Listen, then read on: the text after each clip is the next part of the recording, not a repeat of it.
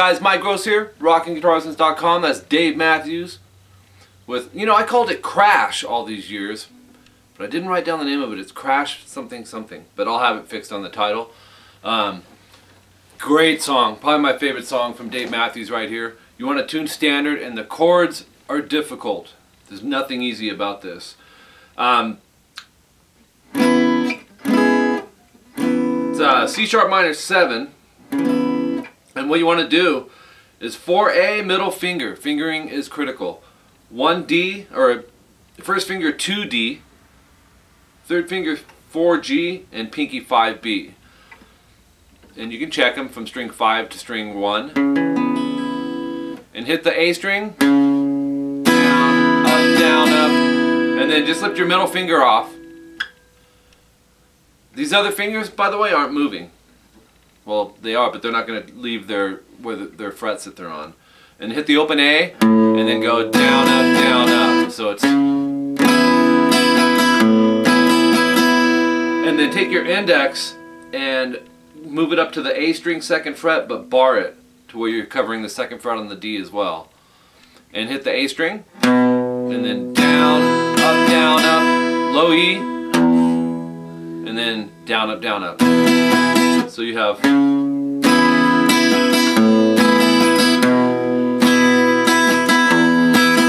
That's the midpoint of this song. Hi, Joe. Hi. You can come in. Hi. What's up? I'm home. Okay, let me finish this lesson. Okay.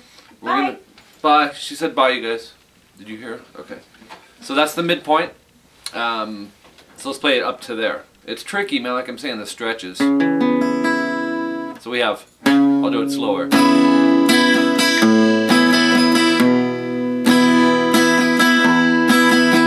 Ready for some more craziness? Middle finger 4E. You notice we haven't lifted our pinky or our third finger, and the first finger for the most part. First finger go down to uh, the second fret D again, and then hit the E first. Open A is going to be muted, so basically you can hit strings 4 through 1 and go down, up, down, up, and then open A. You can get rid of that middle finger, and then down, up, down, up, and then bar that second fret on the A and D again. Pick that and then go down, up, down, up, and then low E, and then down, up, down, up. Now when you're doing that, bar the second fret on the A and D again. So it's open E, and then you're covering 2A, 2D. Such a killer progression, man. It's definitely not um, for the beginner guitar player. Unless you're super brave, man, go for it. But work these chords, man, from the fret hand to get clarity on each string that's involved in it.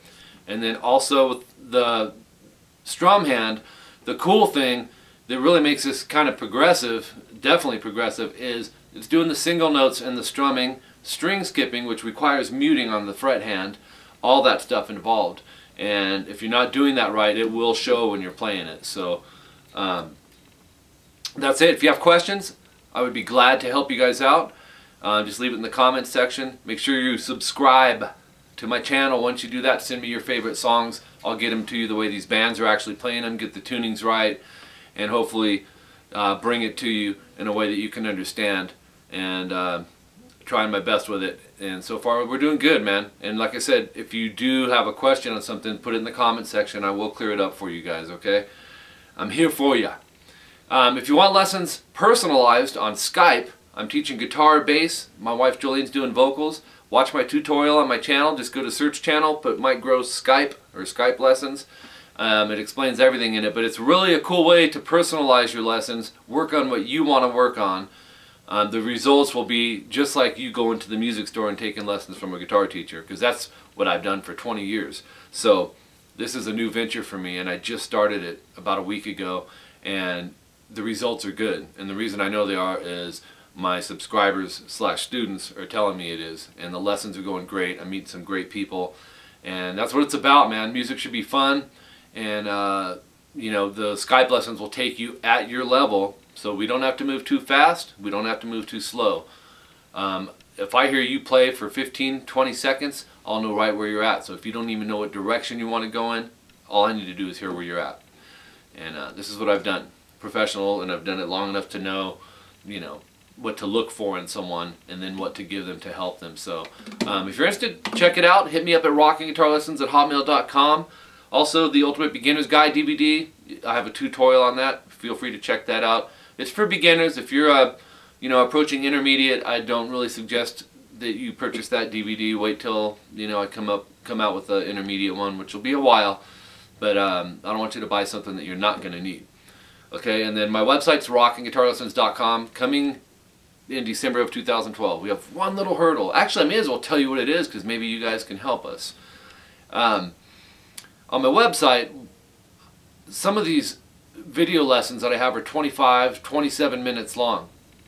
The struggle me and Matt, Matt's my son-in-law's older brother. He's the one that's um, he built the website and is doing all this stuff. Really smart dude. I really appreciate him. But we're having trouble finding I don't know if it's called a host or whatever, but a place where we can do longer um, videos. Because the way it is now, where I can only do two or three minute videos on my website, that's not going to fly.